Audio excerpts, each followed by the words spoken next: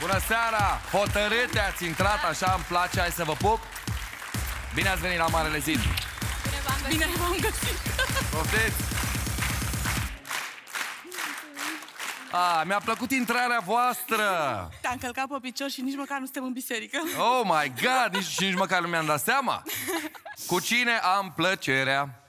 Uh, numele meu e Carmen Zaharescu Carmen și și am venit împreună cu fica mea. Sabina Alexandra Zaharescu. Sabina Alexandra Zaharescu. Bine ați venit la Marele Zid. Bine v-am găsit! Mamă fică, Da? mamă tânără. Foarte tânără. Tot timpul. Tot timpul tânără, timpul. fică tânără. Tot Câți timpul. ani aveți? Uh, 50. Și eu am 21. 21, mulți înainte. Mulțumim frumos! Vreau să știu cu ce vă ocupați. Eu sunt studentă la Facultatea de Inginerie Aerospațială, aici, în București. Până la aici în București, stai că sună mai bine partea de înainte. Ingineria aerospațială. Da, exact. Mm, interesant. Noi, practic, ne ocupăm cu știința din spatele a ce se vede sus în aer. Carmen, tu cu ce te ocupi?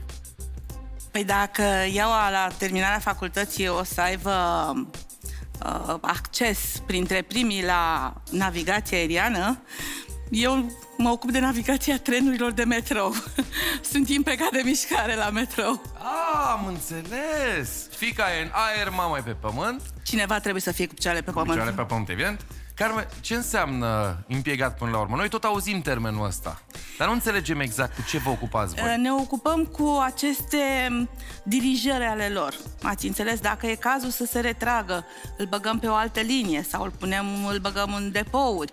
Sau uh, dacă a rămas într-o stație, că toată lumea știe, sunt convinsă. Problemele Așa. apar când la Victoriei s-a terminat. La Victoriei, Da, dacă e. s-a blocat un metrou, Așa așa așa e nebunie. Și atunci trebuie să circulăm doar pe o linie, trebuie să le ducem pe trenuri când pe așa, când așa. De asta deci voi vă nu- ocupați de siguranța milioane de pasageri. Exact, exact. Așa se și numește una din... uh, Exact. Și tu te vei ocupa de siguranța Siguranța. a milioane de pasageri la rândul tău. Exact, tocmai de asta spun să nu-ți fie frică. Deci voi aveți grijă de noi. Cam despre asta e vorba. Și eu o să am grijă de voi în seara asta. Și zidul la fel. Mulțumim. Da, asta, pe asta ne bazăm. Mama mea este un exemplu pentru mine și a depășit limitele de fiecare dată. Ea e, practic, motivul pentru care eu sunt aici. Ok. 20 de ani mi-am petrecut vânzând cartele și am zis nu pot, doar atât, nu se poate. M-am înscris la facultatea de psihologie și pot să spun că am luat licența cu 10. Atât mama cât și fica au avut o problemă cu greutatea, iar pentru Sabina asta a reprezentat un adevărat calvar. De la 8 ani a început să țină diete de slăbit, dar fără rezultat. Și am ajuns într-o depresie foarte urâtă. Început să se apară gânduri negre, chiar de sinucidere. Am realizat că m, ceilalți copii se uitau puțin mai altfel la mine. Inclusiv educatorii, inclusiv învățătorii, inclusiv profesorii. Se poartă diferit.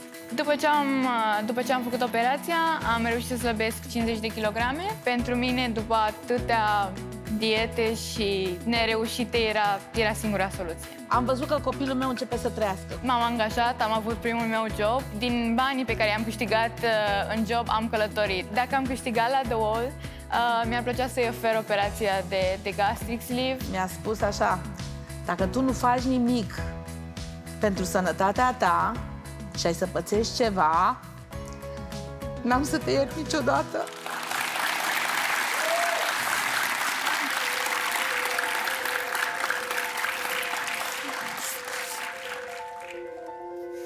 Emoționant.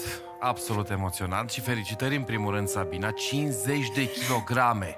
Incredibil, dăm voie să te aplaud. Mulțumesc frumos. Pentru că bănuiesc că nu e ușor. Poate mulți de acasă au impresia că operația în sine e suficientă, dar nu e așa. Nu este într-adevăr. Trebuie foarte mult, foarte mult autodisciplină, pentru că este până la urmă o intervenție chirurgicală cu riscuri și autodisciplina este pe primul loc și sunt anumite reguli care trebuie ținute foarte strict. Dar acum sunt aici, sunt mult mai bine, sunt mult mai încrezătoare și sunt gata să câștig și să merg mai departe. Asta voiam să aud. În ziua de astăzi problema greutății este dezbătută foarte des. Pe Da, toate așa este. canalele media, în toate mediile Exact. virtuale. Uh, și există și probleme la școală. Am întâlnit și la știri. Sunt o groază de materiale, Exact. au fost campanii întregi despre bullying. Exact. E un fenomen în creștere, din păcate. Și, Carmen, vreau să te întreb, cum te-ai simțit tu ca mamă când Sabina trecea prin momentele astea? Sincer, nu doresc niciunui părinte să se uite la copilul lui și să-l vadă cum moare încet pe dinăuntru. A fost greu. A fost dintotdeauna un copil foarte deștept, uh, cu rezultate extraordinare la școală și așa. Dar nimeni nu aprecia pentru că nu se uita nimeni la realizările ei ca Foarte și om. mulți se grăbesc să judece. Din Exact, exact, exact. Mi-ar plăcea foarte mult în această seară, măcar un pic, dacă am putea înlătura din prejudecățile astea, care sunt la tot pasul. Și că nu contează aspectul exterior. Asta am spus-o din totdeauna. Contează sănătatea cel mai mult. Cel mai mult. Și Carmen, la tine mă uit, urmează încă o operație. A ta. Da. Ce costuri înseamnă operația asta? Cât, la cât se ridică? Undeva la 5400 de euro. Doar operația în sine, vorbim de spitalizare. Nu, Zilele asta de nu. după. Doar operația în sine. Uh, La această operație există un instrumentar care este de unică folosință. Instrumentarul acesta nu se găsește la noi în România, din câte am înțeles, este importat și astea sunt costurile. Sper ca zidul în această seară să vă ofere mult mai mult decât posibilitățile financiare pentru această operație. Poate un viitor frumos și senin. Și noi am venit cu acest gând și sperăm. În aer și pe pământ. Da.